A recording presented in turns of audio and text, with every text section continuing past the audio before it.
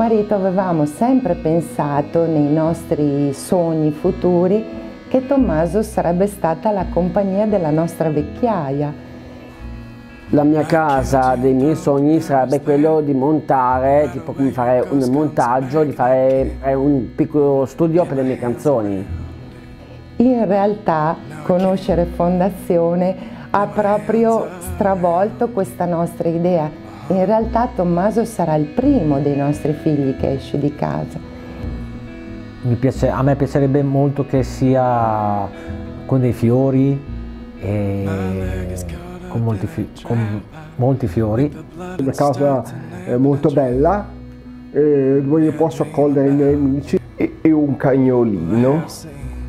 Gli educatori di Fondazione, le persone che seguono questo progetto sono eh, riescono a cogliere secondo me in ogni ragazzo le sue potenzialità proprio e a metterle a frutto. E questa cosa a noi come famiglia ci ha dato una grande serenità nel dire che possiamo davvero eh, sperare che Tommaso abbia un futuro anche quando noi non ci saremo più perché questo è il senso di questa cosa il sentirlo, il vederlo felice, il vederli tutti e due sistemati ci ha riempito di gioia. Eh, praticamente lui non vede l'ora di andare a vivere con questi eh, cinque ragazzi.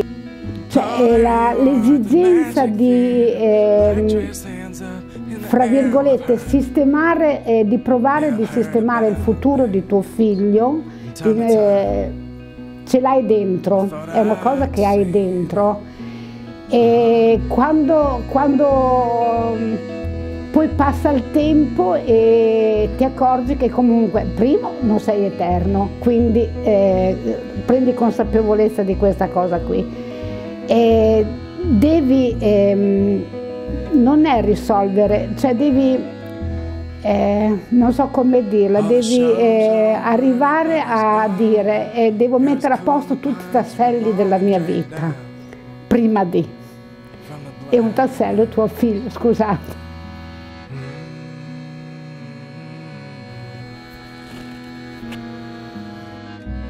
Sei a casa è il nuovo progetto della Fondazione Dopo di Noi. Permetterà a sei uomini fragili di andare a vivere da soli si può fare. Aiutaci a costruire un futuro diverso per le persone con disabilità. Vi cambia la, la vita, eh, vi cambia il domani e cambia il domani dei vostri figli.